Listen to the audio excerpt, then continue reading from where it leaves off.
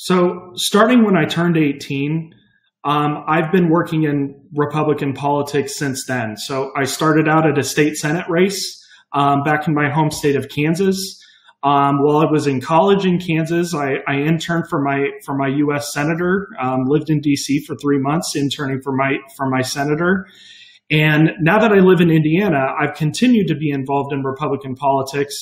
Um, I'm a Republican precinct committeeman um, and I'm working diligently to reelect Governor Eric Holcomb here in Indiana because I feel that he's a Republican who's who's earned our votes. He's done a great job for Indiana, and I will continue to to work for him to get him reelected.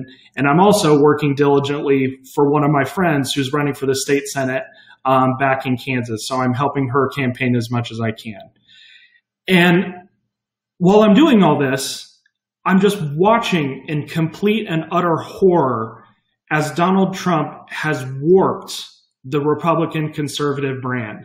He is just decimating our Republican bench at the local and the state level. There are good Republicans who are good, honest, hardworking Christian people with great policy proposals who will lose in 2020 because Donald Trump is dragging down the Republican brand so much. They will lose to Democrats because of Donald Trump. And I've just watched this just these past four years, and it just horrifies me that these candidates are going to lose these winnable races. But that's not even the worst part. Like I I try not to to put too much stock in in earthly political parties. You know, the founders did not intend for us to do that, to put so much stock in parties. My biggest problem with Donald Trump is he's causing us to lose the battle of ideas. We are losing young voters because we are not coming up with innovative, free market, conservative proposals, policy proposals to some of these ideas. He's made the last four years about himself He's made the last four years about all of his scandals. We're losing the battle of ideas. And to me, that's the biggest harm that's going to come from this to the Republican Party long term. We're not putting forth free market conservative proposals to solutions like climate change and police reform and foreign policy and all these issues that our country is facing because we're so wrapped up in in defending Donald Trump and and you know from his every little scandal. I'm done with it. So I'm going to continue to work to elect Republicans at the local and state level because they're good people.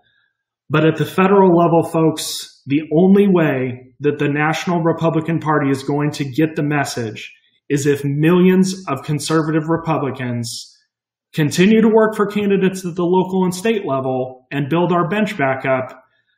But we have to vote for Joe Biden. It's the only way. It's going to send a message to them. That is the only way that they will realize that they've danced with the devil. So this is the only way that they're going to realize and will ultimately start backing candidates with good ideas again instead of a cult of personality as, as the Republican Party has become around Donald Trump. So I really hope you will all join me um, in voting for in voting for Joe Biden um, in November. I will proudly display my Eric Holcomb Republican for Governor of Indiana yard sign right next to my Joe Biden 2020 yard sign. So I hope you will join me in doing the same.